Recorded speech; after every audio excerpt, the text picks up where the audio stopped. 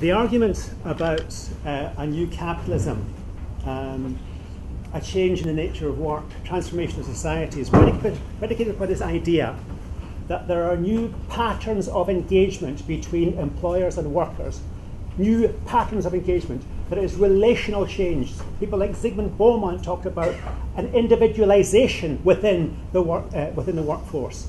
Workers don't in, in, uh, in, uh, uh, engage with the world collectively, but do so on an individual basis because the bonds of reciprocity between workers and employers have been rendered tenuous by globalization. The, so the argument is uh, fundamental to this, and that's why you know, people like Castells talk about the end of salaried employment. The end of salaried employment, the end of wage labour. It is utter nonsense. There's no evidence for it, and that's why kind of, I, mean, I, I, I, invest a lot in trying to kind of establish the, the, the, truth of these matters because trends are going in the opposite way. There's some good news and bad news in all this, with, particularly with the crisis. I believe, for instance, that we were not, this is a crisis of similar proportions in terms of growth uh, and GDP to the 30s. I do not believe we're going to go back to the levels of unemployment we saw in Germany, in America, in Britain, and so forth, the 20 to 30 percent of, of, of unemployment. That's the good news. The bad news is something else. I believe that the ruling class has an agenda for fiscal consolidation and austerity, which is two decades long. Two decades long. We're talking about an OECD report last summer which says Greece is doing quite well with its fiscal consolidation, and if it keeps doing what it does, it'll get to 60% debt in 20 years' time. The fiscal pact for Italy says you can get down at 3% per year of your debt, of the government debt, from 120% debt down to, down to 60% debt. That's what they're demanding. That's two decades. We're not talking about something that is an overnight swallowing a bitter pill. We're talking about a period now, a phase in which, in which things are operating.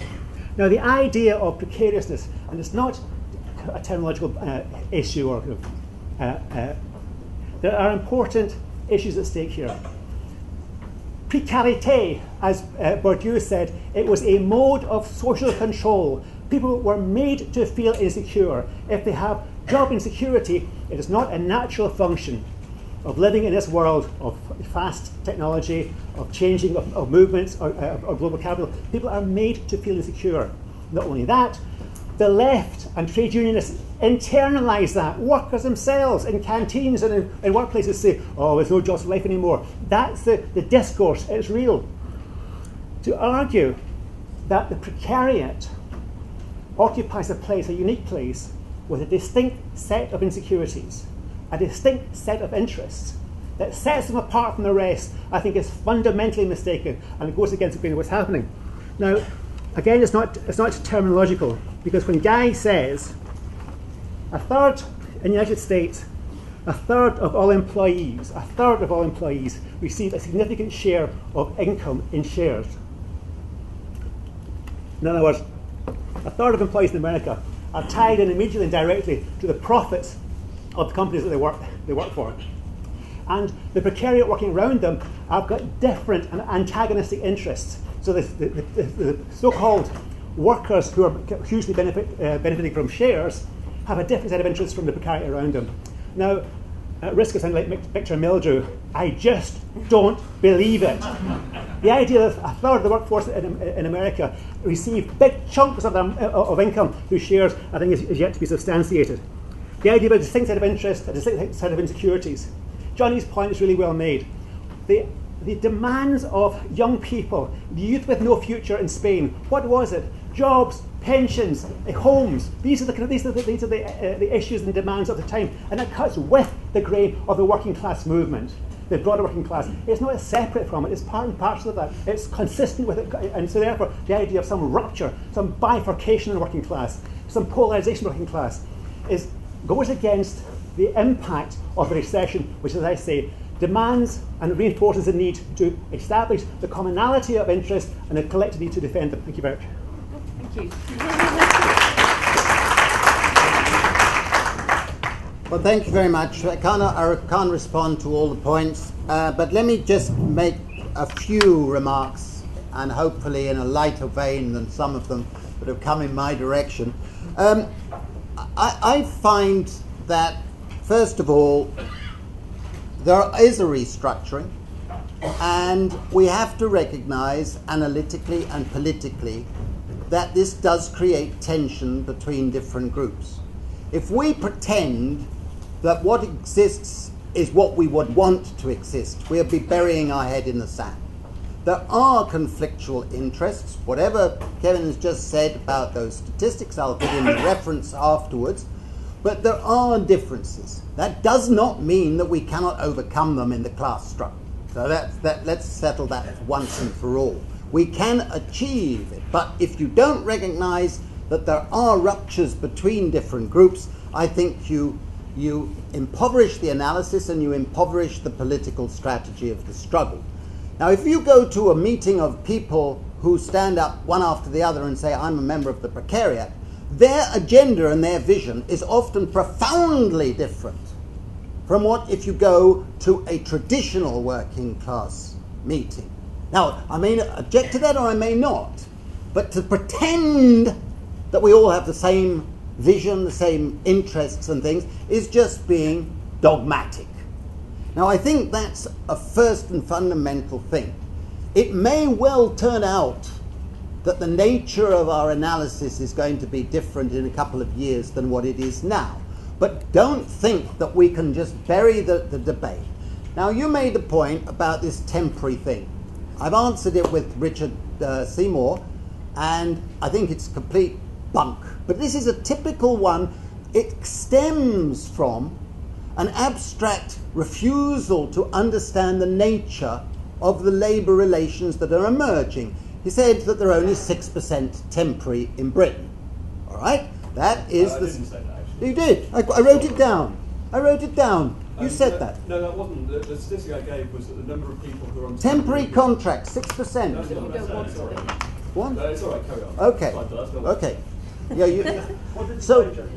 Um, what did you say What I said was that the, the number of people who are on temporary contracts who would like to become permanent or in part-time jobs was 1.9 like million. full-time That's what you said. 1.9 million. Yeah, after you'd said the 6%.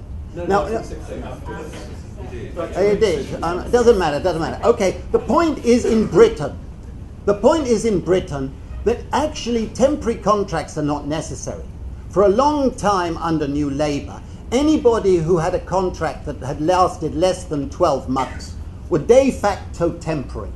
They had no employment rights. And then Osborne, that wonderful man, last October in his speech to the Conservative Party conference, suddenly abolished employment rights, or whatever you want to call them, for all those employed for less than two years.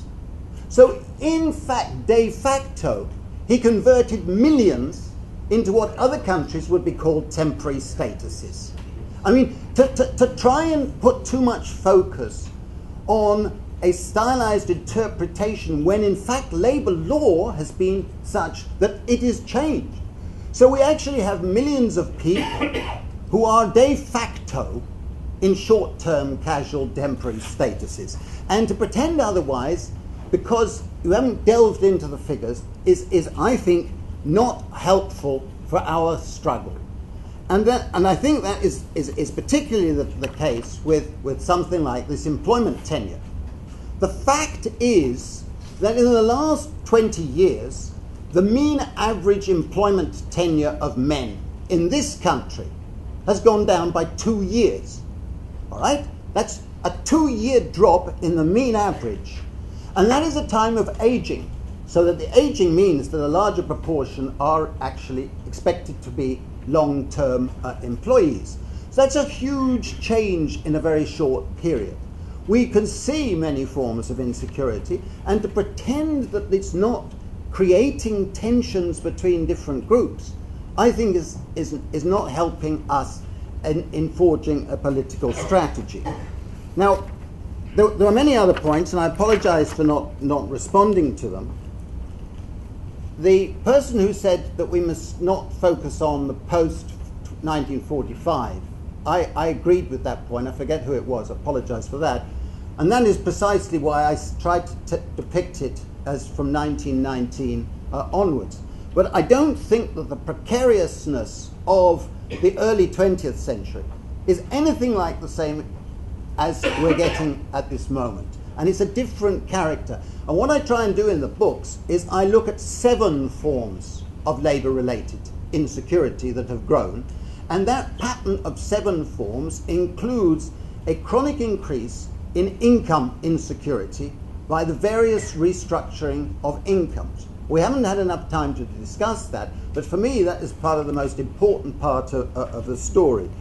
Now, thank you for your comments, even if there's a lot of skepticism, but I, I hope some of you will engage with, with the subject uh, and continue to do so. Thank you very much.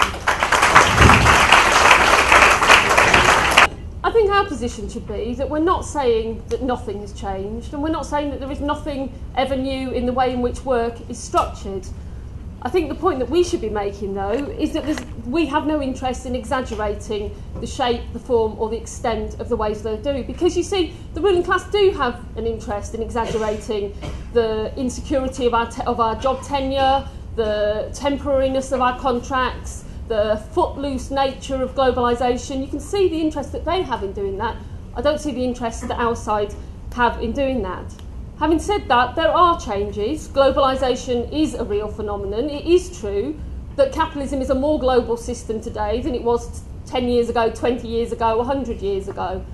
That doesn't mean that capital has become all powerful, and that doesn't mean also that the state is no longer relevant. In fact, some ways, I think the globalisation creates for us a very positive phenomenon, doesn't it? It creates a global working class. It means that the working class is now located everywhere in the world and is now genuinely a majority of the world population. That there is now nowhere in the world in which workers do not exist and are not part of the global working class.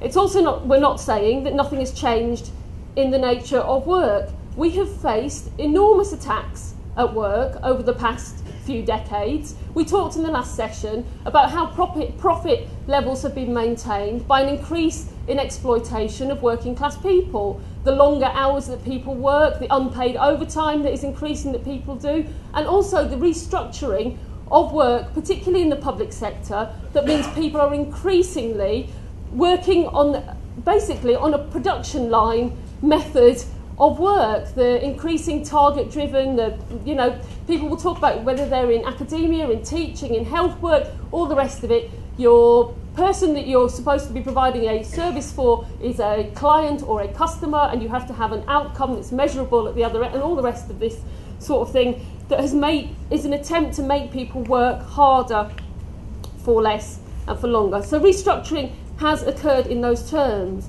That, however, does not mean that we have a new fragmented class system. If anything, the changes that I've talked about, the globalisation, and the way in which work has been restructured in major parts of the economy have made a class that is easier to unite and not harder to unite. Now, of course, it's true that some people work in more precarious jobs than others, and this, um, this comrade at the front says, how can Mr. Reasonable says, how could anyone possibly disagree with the idea that there is a precariat? Now, of course, there are more precarious jobs. There are areas that it's a horrendous, more horrendous place to work than others. There are places where you're more likely to get the sack more easily, where you're likely to be monitored more consistently, where you're going to be on a shorter term contract and you're going to be bullied more easily. There are worse places to work and more precarious places to work than other places that have defended their position. And it's true that there have been a whole number of campaigns across Europe and elsewhere to try and drive back the attempts to make our lives more and more insecure. The labour laws that make it easier to sack people has been an explosive point in France, for example. There have been lots of campaigns, and we should support those campaigns, and we should support union drives in places where people are not unionised.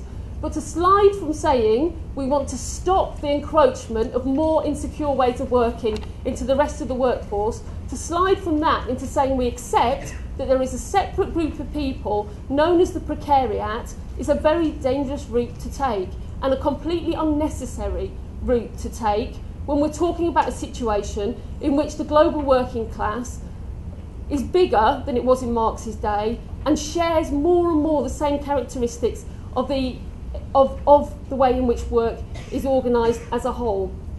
And I think you can see by any of the struggles that people talk about, and this is the same in Britain as the argument that we've had about informal workers in the global south, that where workers move as a whole, they can pull many other groups behind them, whether it's the students, the unemployed, the informal workers, the people on temporary contracts. And that doesn't take away from the idea that there is a strategic point to saying that organised workers are at the heart of a strategy for change. You see, I think there are two mistakes that the labour movement can make in terms of people in precariat work. The first one is that they can say that these people are unorganisable, and there are sections of the trade union leadership who have previously said that people who are in low pay, part time contracts, who are, who are under agency work cannot be organised. The flip side of that mistake is to say that these are the only people worth organising, and that's to write off the big bulk of the working class who are organised.